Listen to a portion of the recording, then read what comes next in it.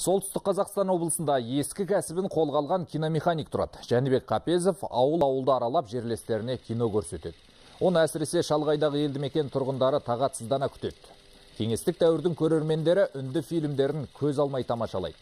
Қарияның қоржынында балаларға арналған мультфильм ертегілер де бар. Сол заманның қайталанбас туындылары Радуга 7 деп аталатын ескі кинопроектор арқылы көрсетіледі. Жәнібек Қапезовтың ендігі арманы кино түсіру. Енді үлкен кісілер көргенде ана заманның киноларын еске алады. Енді болашақта осы балалар көрсін деп ойлайды.